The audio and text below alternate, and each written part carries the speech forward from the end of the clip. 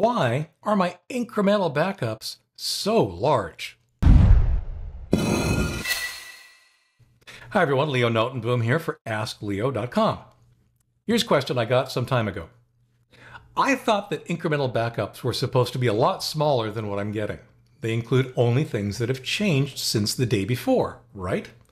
The incremental backups I'm seeing are way, way bigger than just the file or two I updated since yesterday. What gives? Absolutely, the size of incremental backups often surprises people. All you do is you edit one small document and the next day your incremental backups being ends up being a gigabyte or more in size. It doesn't necessarily make sense. The issue, of course, is that Windows, among other things, is a very busy operating system.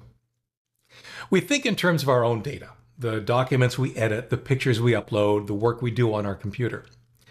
Backing that data up daily is a critical part of what it means to back up at all. These are all files we don't want to lose in case of failure and files we expect our backup regimen to take care of for us. But it's very easy to overlook that there's so much more going on than just what you and I do. There's Windows itself, and it does a lot. Even if you do nothing with your computer all day, meaning it's running but you never touch it, Windows is still working hard. Programs making up the operating system itself are running. Programs that auto start when you log in are running. Updates are being checked both by Windows and other programs. Your security software is running and scanning periodically, as well as checking for database updates and more. There's just a lot going on. And what that means is that files are being changed. Files like the system swapper paging file, temporary files, data files used by the individual programs, like, say, your security software, the Windows registry, that database of configuration and other settings, the event log and other logging files, and probably a whole lot more. This often represents much more of the day to day change than anything you might have done yourself. Additional culprits include the software you run, they often change much more than just the files you're working on. And some change files even if you didn't actually work on anything at all. If you fire up, say, a word processing program, you would expect that your document would change, of course, if you make edits.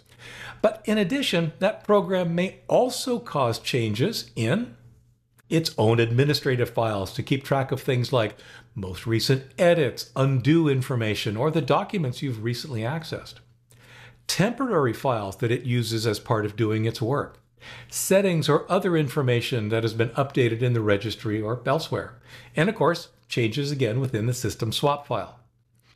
Another example, if you browse the web, everything you view is downloaded to your machine and placed in your browser's cache. This cache then appears as a changed file and would be included in the next incremental backups. Even for programs where you yourself don't change anything, things can change a lot. So, with so much possibly changing every day, it's important to realize that, yeah, this is how your computer works, and you really do want to back all that stuff up.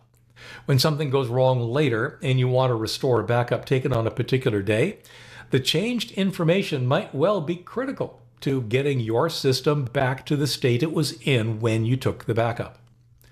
But aside from getting a larger external disk, what else can you do to manage the size of your backups? Choices fall into two buckets. I'll call it backup less, backup less often. One thing I recommend doing is running Windows Disk Cleanup. It will allow you to remove several things that you may not need and that may contribute to the size of your backups. Similarly, CCleaner, while overlapping some with Windows Disk Cleanup, will also clean out more things, particularly for many applications that aren't actually part of Windows. Many of the things that Windows Disk Cleanup and CCleaner remove may come back as you use your computer, but much of it will not.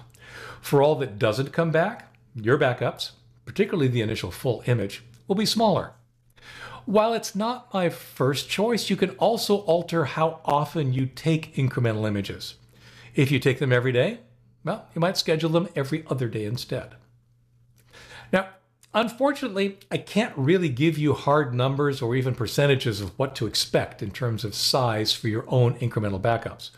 It varies a lot, depends on the software you use, how you use your machine, what software is installed and running, and so forth.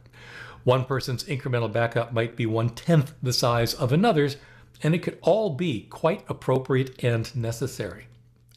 What I can say is that I would much rather have you back up too much than not enough.